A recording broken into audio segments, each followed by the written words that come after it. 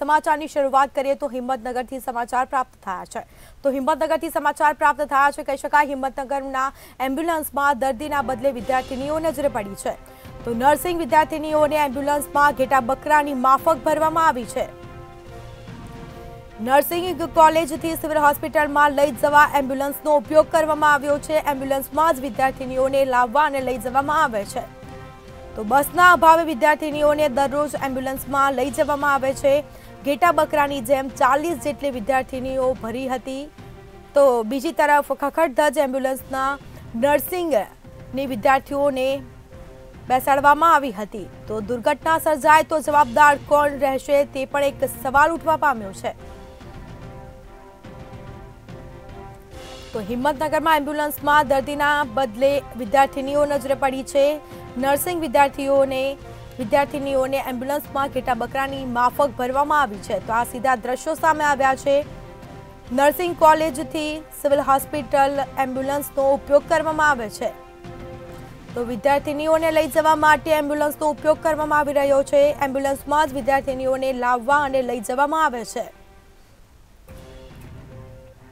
તો બસના અભાવે વિદ્યાર્થીનીઓને દરરોજ એમ્બ્યુલન્સમાં લઈ જવામાં આવે છે. આ સીધા દ્રશ્યો સામે આવ્યા છે. તો ઘેટા બકરાની માફક વિદ્યાર્થીનીઓને બેસાડી હતી એમ્બ્યુલન્સમાં. દુર્ઘટના સર્જાય તો જવાબદાર કોણ રહેશે તે પણ એક સવાલ ઉઠવા પામ્યો છે.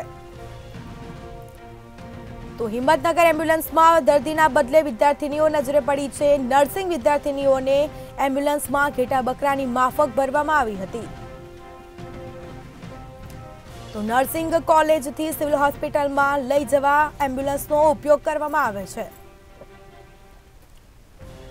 એમ્બ્યુલન્સમાં જ વિદ્યાર્થીનીઓને લાવવા અને લઈ જવા માટે ઉપયોગ કરવામાં આવે છે. બસના અભાવે વિદ્યાર્થીનીઓને દરરોજ એમ્બ્યુલન્સમાં લઈ જવામાં આવે છે.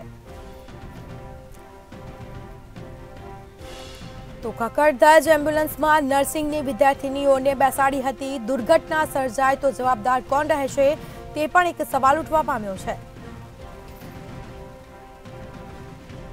તો એમ્બ્યુલન્સનો ઉપયોગ દર્દીને લઈ જવા માટે થતો હોય છે. પરંતુ દર્દીઓના બદલે વિદ્યાર્થીનીઓને લઈ જવા માટે એમ્બ્યુલન્સનો ઉપયોગ કરવામાં આવ્યો છે. નર્સિંગ વિદ્યાર્થીનીઓને એમ્બ્યુલન્સમાં ઘેટા બકરાની માફક ભરવામાં આવી છે.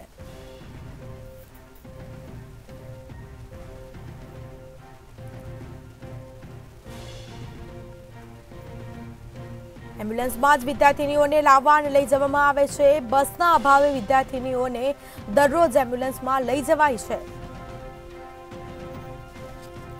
તો દુર્ઘટના સર્જાશે તો જવાબદાર કોણ રહેશે તે પણ એક સવાલ ઉઠવા પામ્યો છે. તો નર્સિંગ કોલેજથી સિવિલ હોસ્પિટલમાં એમ્બ્યુલન્સનો ઉપયોગ કરવામાં આવે છે. લઈ જવા માટે વિદ્યાર્થીનીઓને એમ્બ્યુલન્સનો ઉપયોગ કરવામાં આવે છે.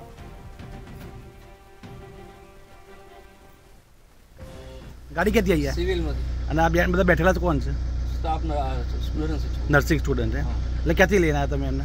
સિવિલથી. અને અને અત્યારે અહીંયા ક્યાં? તમે નર્સિંગ હોસ્પિટલ ત્યાં આગળ આવ્યા ને? આટલા બધા ભરો છો કે તમે? શું ગાડીઓ સદ નહીં. ગાડી નથી એટલે? ગાડી નહીં. તમે ક્યાંથી આવ્યા અને આ ક્યાંથી આવી ગાડી? સિવિલમાંથી? તો ખકડધજ હાલતમાં એમ્બ્યુલન્સ જોવા મળી છે. દુર્ઘટના સર્જાશે તો જવાબદાર કોણ રહેશે તે પણ એક સવાલ ઉઠવા પામ્યો છે. નર્સિંગ કોલેજથી સિવિલ હોસ્પિટલમાં લઈ જવા માટે એમ્બ્યુલન્સનો ઉપયોગ કરવામાં આવે છે.